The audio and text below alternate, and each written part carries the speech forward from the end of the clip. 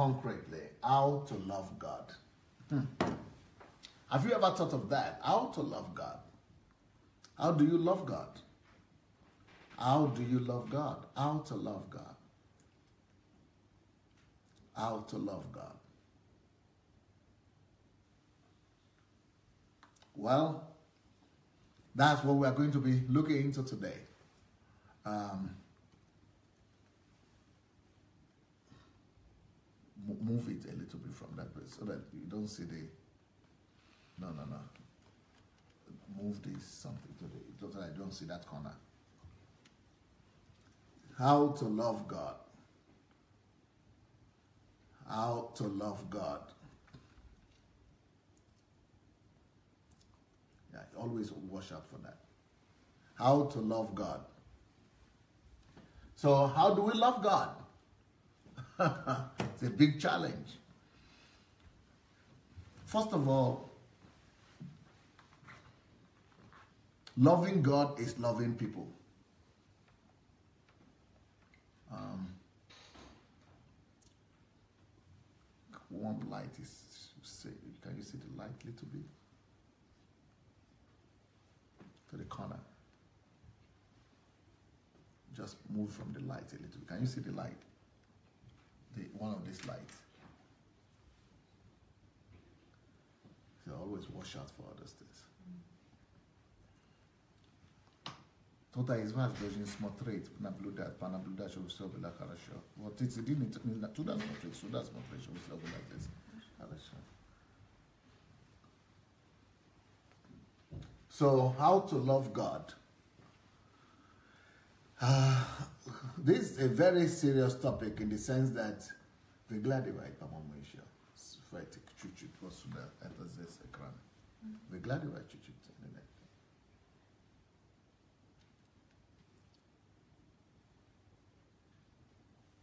How to love God. I'm sorry, guys. I'm still trying to be a technical guy here at the same time.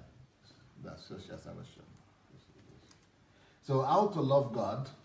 I'm just being distracted because I need, for me, I needed everything to be perfect. So, well, it's easy how to become God. Jesus Himself told us how to love God. Jesus Himself instructed us and told us how to love Him. Mark 12, 30 to 33. But we are going to read Mark 12, 30 and verse, verse 30 and 33. And you shall love the Lord your God with all your heart, with all your soul, with all your mind. Is it can you is it visible enough? Maybe you need to make it bigger a little bit like that, just a little bit bigger, so that the words will be bigger. With all your heart, with all your soul, with all your mind, with all your strength. This is the first commandment. And to love him with all the heart, with all the understanding, with all the soul, and with all the strength, and to love one's neighbor as oneself is more than all the whole burnt offerings and sacrifices. So let's talk about loving God. To love God, the first thing we have to know here is that God has a requirement, a standard. He has a uh, a standard of or a a formula of how we should love him or how he could be loved. So we cannot love God on our own terms. And we cannot use our own understanding, our own interpretation to say we want to love God the way we want or the way we understand. We can only love God the way He tells us to love Him, the way He recommends us to love Him. So, how do you love God? If you want to love God, the best way to love God or the best way to know to love God is to follow God's instruction on how to love Him. So God is telling us, God Himself has instructed us on how to love God. Jesus Himself came with that message on how to love God. So, how is it? How do you love God? Let's look at that scripture again. Mark 12, verse 30 says, And you shall love the Lord your God with all your heart.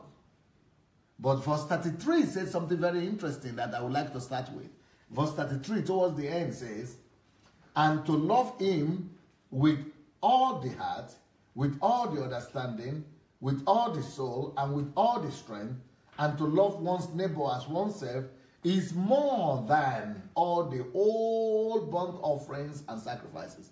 Now pay attention to is more than. So love, loving God, is more than burnt offerings, all forms of burnt offerings, and sacrifices. Now, unfortunately for us today, when you go to churches, you are being told that the way to love God is through offerings, any kind of offerings.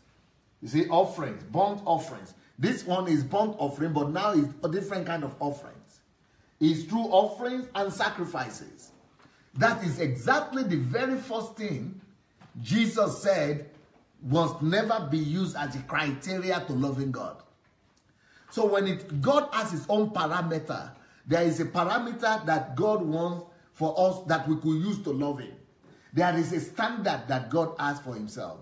We cannot love God through sacrifices or through offerings.